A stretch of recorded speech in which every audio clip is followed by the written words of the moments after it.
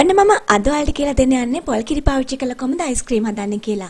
ඉතින් මේ දවස්වල අන්තර්ජාලයේ අයිස්ක්‍රීම් රෙසිපි ගොඩක් ජනප්‍රිය නිසා විශේෂයෙන් නිර්මාංශික ඒ කියන්නේ එලකිරි පිටිකිරිවත් බොන්නේ නැති කෙනෙක්ට ඒ වගේම මේ වෙලාවේ එලකිරි පිටිකිරි ගෙවල් වල නැති අයට අයිස්ක්‍රීම් හදාගන්න පහසු ක්‍රමයක් කියලා දෙන්න ඕන කියලා හිතුණා.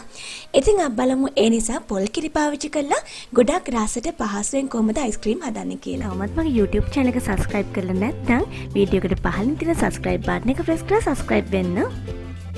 මගේ නවතම වීඩියෝ එසනින් බලාගන්න ඒ ළඟම තියෙන බෙල් බටන් එක ප්‍රෙස් කරන්න.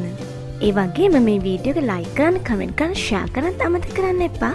අපිට මේ අයිස්ක්‍රීම් එකට ප්‍රධාන වශයෙන් අමුද්‍රව්‍ය දෙකයි අවශ්‍ය වෙන්නේ. මම මෙතන අරගෙන තියෙනවා පොල් ක්‍රීම් මිලිලීටර් 600 එකක්. ඉතින් ඔයාට ගෙදරදී පොල් කිරි අරගෙන ඒක ඩීප් ෆ්‍රීස් එකේ පැය දෙකක් විතර තියලා උඩ ඉතිරි වෙන පොල් ක්‍රීම් එක ගන්න පුළුවන්. ඔයාලට මතක ඇති මම මගේ පොල් තෙල් හිඳින වීඩියෝ එකේදී ඒක ගොඩක් සවිස්තරාත්මකව පැහැදිලි කරා. අන්න ඒ විදිහට පොල් කිරි අරගෙන ඒක ඩීප් ෆ්‍රීස් එකේ පැය දෙකක් විතර තියලා ඒකේ උඩ ඉතිරි වෙන ක්‍රීම් එක අරගන්න මේකට. ඊට අමතරව අපිට තව මොන හරි ක්‍රීමි ගතියක් තියෙන පළතුරු වර්ගයක් අවශ්‍ය වෙනවා. ඉතින් මම නම් මෙතන තියෙන කෙසෙල්, ඔයාලට අඹ, අලි ගැට peer ඒ වගේ පළතුරු වර්ගයක් පාවිච්චි කරන්න පුළුවන්. මෙතන කෙසෙල් ගෙඩි දෙකක් අරගෙන තියෙනවා. ඒ වගේම කෙසෙල් වල පොඩි කහට ගතියක් ඇති වෙන නිසා මම ඒක දෙහි බින්දු කීපයක් පාවිච්චි කරනවා. ඒ වගේම රසය බලලා මම මේකට මී පැන් ටිකක් පාවිච්චි කරනවා. මී පැන වෙනුවට වඩා සීනි පාවිච්චි කරන්න පුළුවන්. ඒ වගේම ඔයා පාවිච්චි කරන පළතුරේ සීනි ගතිය වැඩි නම් මේ කිසි දෙයක් අවශ්‍ය වෙන්නේ නැහැ. වීඩියෝ එකට අදාළ රෙසිපි එක වීඩියෝ එකට පල්ලෙහා තියෙන ඉන්ෆෝ බොක්ස් එකේ මම දාන්නම්. එතනින් රෙසිපි එක ගන්න ඕගොල්ලෝ. මම මුලින්ම කරන්නේ කෙසෙල් වල පොත්ත මේ විදිහට ඉවත් කරලා ඒක පුංචි පුංචි පෙති වලට කපා ගන්නවා මේ විදිහට.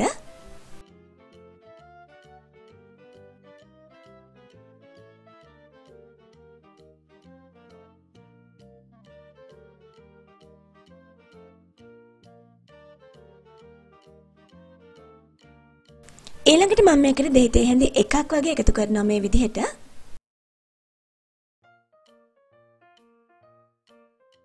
ඊළඟට මම දෙහි ටිකයි කෙසෙල් ටිකයි මේ විදිහට හොඳින් මිශ්‍ර කර ගන්නවා. ඉතින් අපි කෙසෙල් වගේ පළතුරු වර්ග කපපුවාම ඒවයි කහට ගතියක් ඇති වෙනවා. ඉතින් දෙහි එකතු කරපුවාම මේ විදිහට කහට ගතිය ඇති වෙන එක වළක්ව ගන්න පුළුවන්.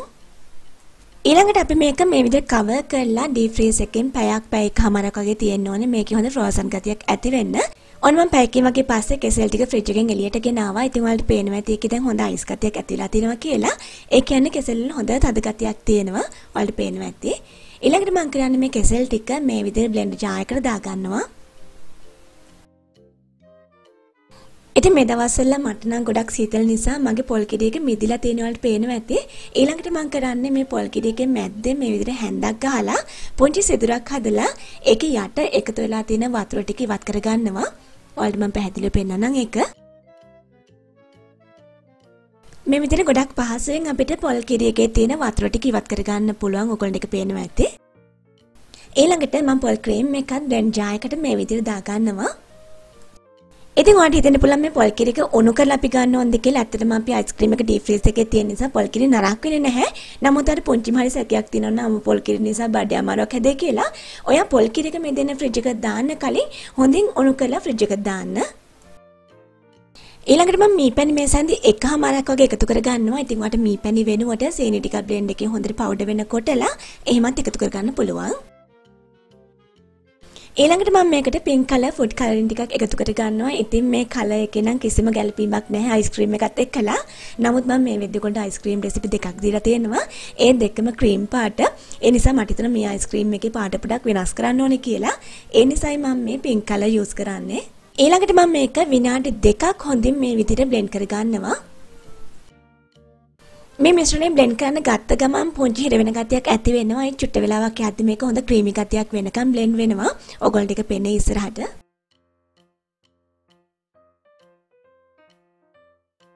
මේ විදිහට විනාඩි දෙකක් වගේ හොඳින් බ්ලෙන්ඩ් කරගන්න.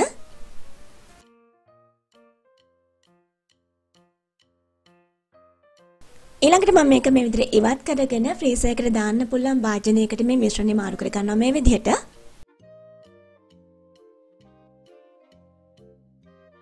ඊළඟට මම මේ අයිස්ක්‍රීම් මිශ්‍රණය මේ විදිහට උඩින් වහලා පැය දෙකක් ඩීප් ෆ්‍රීස් එකේ තියෙනවා.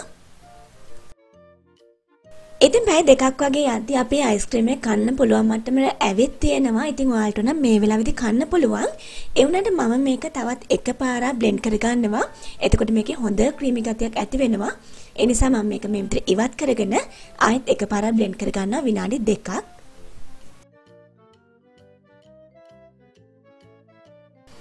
ඊළඟට මම කලින් කන්ටේනර් එකටම අයිස්ක්‍රීම් මිශ්‍රණය මාරු කර ගන්නවා. ඉතින් ඔයාලට පේනවා ඇති කලින් පාරට වැඩිය මේ පාර හොඳ ක්‍රීමි ගතියක් අයිස්ක්‍රීම් මිශ්‍රණේ තියෙනවා කියලා. ඊළඟට ආයෙත් මම මේ අයිස්ක්‍රීම් මිශ්‍රණය පැය 4ක් වගේ ඩීප් ෆ්‍රීස් එකේ දාලා තියෙනවා. ඉතින් පැය 4ක් වගේ යද්දී මේක හොඳ අයිස්ක්‍රීම් මට්ටමට එනවා. ඉතින් මම පැය 5කින් වගේ පස්සේ තමයි මගේ අයිස්ක්‍රීම් එක එළියට ගත්තේ. මම ඔයගොල්ලෝ මෙතෙන් තවත් දෙයක් සඳහන් කරන්නම්. ඔයගොල්ලෝ ඕනම අයිස්ක්‍රීම් එකක් ෆ්‍රිජ් එකෙන් එළියට ගත්ත ගමන් ඒක බෙදා ගන්න යන්න එපා. මම ඔයගොල්ලන්ට පෙන්නනවා දකින්න ඇත්තේ. ඒක අපිට නිවැරදි විදිහට ගන්න බැරි වෙනවා.